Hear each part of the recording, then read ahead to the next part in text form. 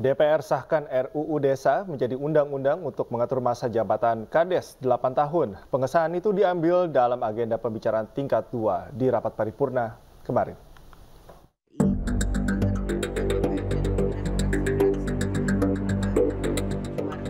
DPR mengesahkan revisi undang-undang tentang desa menjadi undang-undang. Pengesahan itu diambil dalam agenda pembicaraan tingkat 2 di rapat paripurna. Rapat dipimpin oleh Ketua DPR Puan Maharani. Mulanya Ketua Balik DPR Supratman Andi Aktas menyampaikan laporan pembahasan RUU Desa bersama pemerintah. Rapat kerja dalam rangka pengambilan keputusan pembicaraan tingkat satu atas hasil pembahasan RUU Desa beragendakan mendengarkan pandangan mini fraksi-fraksi terhadap hasil pembahasan rancangan Undang-Undang Desa.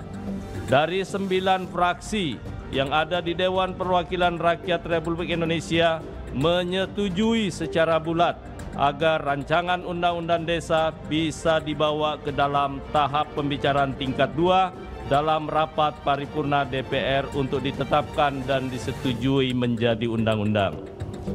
Demikian laporan pembicaraan tingkat 1 RU Desa. Selanjutnya perkenalkan kami menyerahkan rancangan undang-undang tentang perubahan kedua atas Undang-Undang Nomor 6 Tahun 2014 tentang Desa untuk mendapatkan persetujuan rapat paripurna DPR RI yang terhormat ini.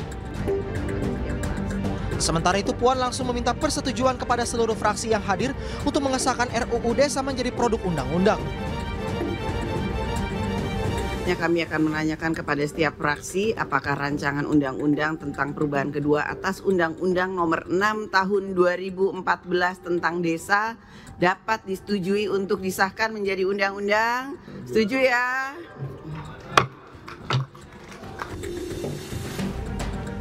Sebelumnya revisi UU Desa telah disetujui tingkat satu dalam rapat Badan Legislasi DPR dan Kementerian Dalam Negeri pada Februari lalu.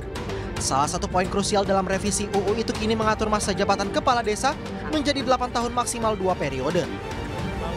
Tim Liputan iNews melaporkan.